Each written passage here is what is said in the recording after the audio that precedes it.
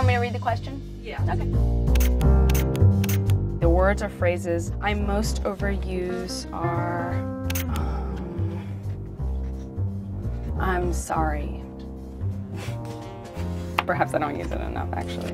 My heroes are people who have made and changed the world by not behaving. I've brought our uh, archives here, the Amber Heard files. So let's just deal with this one first. I remember this was Young Hollywood. We get a good shot of that. This is one we did about five years ago, and Jonah Hill never had it so good, right? With uh, Rebecca Taylor and yourself. Look at you there. and you pretty much look exactly the same. Did you just turn 27? Yeah. Excellent. So I'm like 59 in actress dog years. You have Paranoia coming out. We can talk about that. And then we're going to talk about Machete Kills. But I want to dial it back. And I want to talk about Amber in Texas. Oh, no. You come from a completely different family of uh, very religious, very conservative, acting, coming to the land of, you know, Yeah, it's easy sin and- transition. yeah. super, super easy. I mean, no one before had done it. You don't have any actors in the family. This isn't. There wasn't an uncle living in Hollywood or something. no, no, no one had in my family really ever left Texas. My parents in school once were called in and they asked them about me being such an artist and you know can I maybe channel that into like more productive things like you know math or science or something.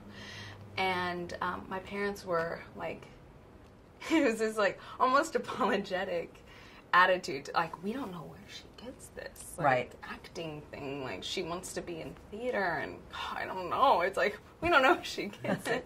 Is your younger sister out here still? I remember Yeah. meeting her Oh, a yeah. couple. Is she going to be an actress or is she kind of deciding? I mean, I think she sees kind of like all the all the BS that I have Mm-hmm. go through, the ups and the downs, and I think that my sister sees that and is fine just eating popcorn in the stands Mm-hmm. and then doing her own thing. Well, let's talk about your role in uh, this the new movie. So Oh, you yeah. get to play as strong.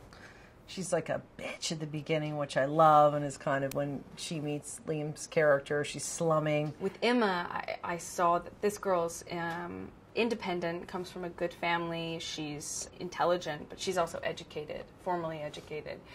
And um, she's striving to make a name for herself in a world that's not necessarily so apt to give it to her. And I kind of wanted to explore that. I also wanted to play a character that, be, in being intelligent, I felt would be had a more likely chance of being protected in the post production process, uh, where female characters in particular tend to be stripped down because why build up uh, the nuance of, of those characters when it's really about um, them supporting the male characters.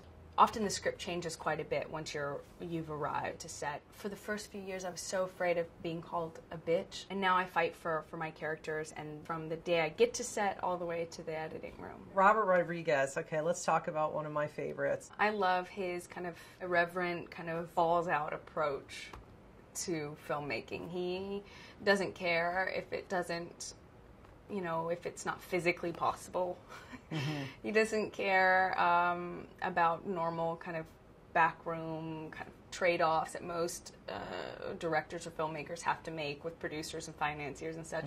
He really, you get a sense working with him that it's really just his idea, it's his vision, it's his show. He's willing to collaborate with other artists, actors, but no one else. Do you have anybody right now that you like, actor or actress out there that you love what they're doing? I can't think of anyone who's better accomplished um, the kind of trajectory that I admire better than Angelina Jolie. She's really parlayed of life in the public eye and used it to her advantage as opposed to just living life as a recluse because you feel um, taken advantage of by the general public and the paparazzi obsessed culture. You think you would have pursued it if you knew it was going to be this much of a circus? Absolutely.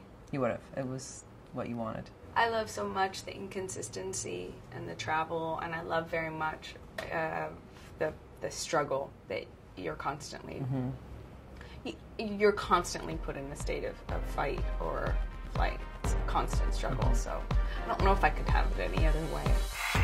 My idea of perfect happiness is being able to eat chocolate and drink red wine all day long without any consequence.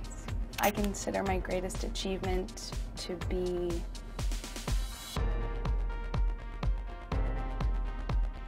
to always having been able to to jump. I don't know, to being silly enough or dumb enough to jump. and that's it.